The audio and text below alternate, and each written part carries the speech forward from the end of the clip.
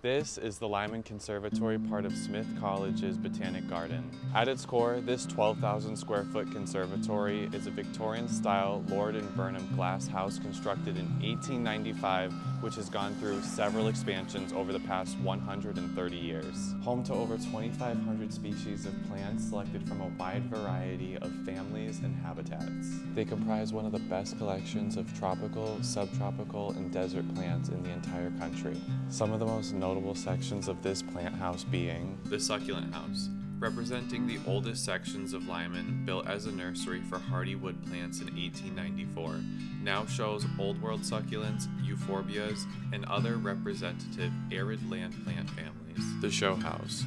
From 1900 all the way until 1970, this is where the first flower shows were held.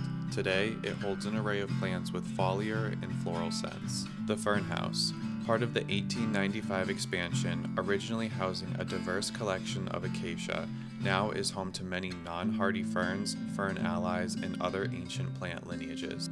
The Palm House, the centerpiece of the Lyman Plant House with its arching, curved, giant vertical wall panels and unique interior space. It's home to many plants from tropical forests from around the world.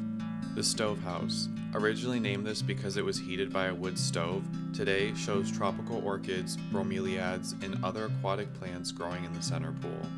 The Warm Temperate House. Many tropical and subtropical plants grow here, such as begonias, citrus, gloxiniads, and gesneriads, Venus flytraps, and pitcher plants. The Cool Temperate House added in 1981, houses trees and shrubs from the tropical, montane, and subtropical regions which tolerate or require cool winter growing conditions, showcasing florals from Asia, Latin America, Africa, Australia, and New Zealand. And lastly, the Camellia Corridor, an outdoor space created between two rows of glass houses, was enclosed to create a long corridor housing camellias, citrus, rhododendrons, epiphytic cacti, and orchids. The Lyman Conservatory is free and open to the public daily from 9 a.m. to 4 p.m.